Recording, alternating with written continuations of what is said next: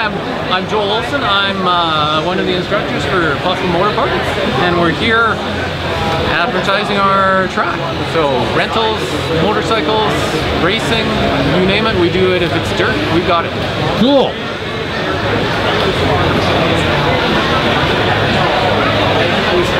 Motorcycle, three hours of instruction.